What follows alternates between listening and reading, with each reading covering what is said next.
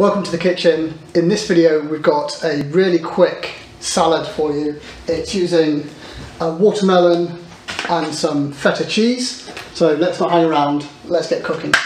What we'll do to start off with is we'll use some onion. So this is red onion which I've just finely sliced and we're just going to create a really quick pickle. So with that we just put a couple of teaspoons of white wine vinegar and just a little pinch of salt. Just give that a bit of a mix around to get that salt in there. And that can sit to one side. With the watermelon, we'll take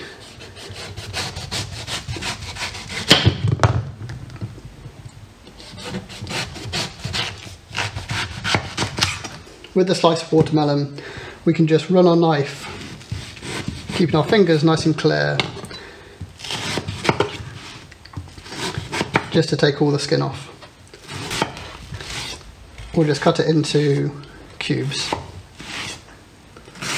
So these cubes are going to be a centimetre and a half to two centimetres in size.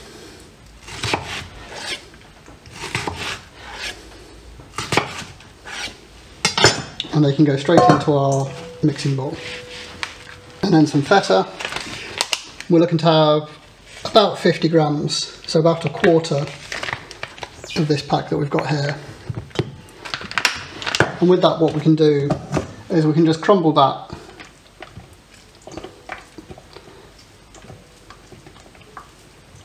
and give that a good, good mix. Next is the mint and we want probably 10 or 12 good sized leaves. What we can do with this is we can just the, pick these straight into the salad. They don't need to be chopped up or anything. If they're a little bit big then just rip them in half as you're taking them off.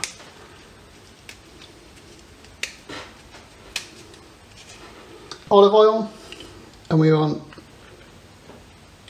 only about a tablespoon just enough to, to coat.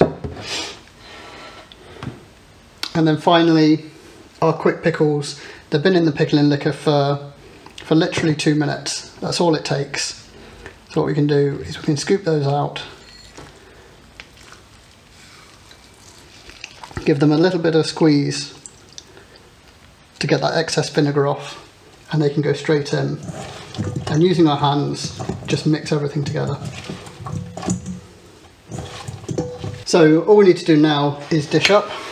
So with a spoon, we'll just plate it into our favourite bowl.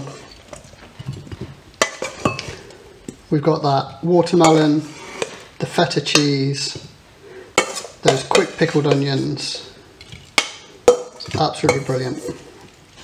And we'll just put a bit of mint on top as garnish. And there we have it watermelon and feta salad. You've got those beautiful cubes of watermelon, the saltiness from the feta cheese, that quick pickled onion, the freshness from the mint. All that's left for me to do is to go and find a barbecue to have this with. So I'll see you around.